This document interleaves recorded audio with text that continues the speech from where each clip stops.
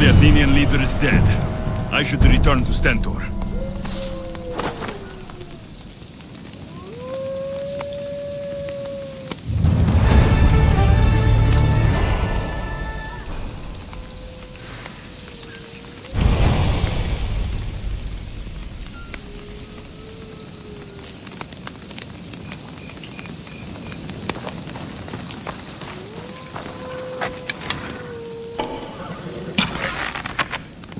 Come on!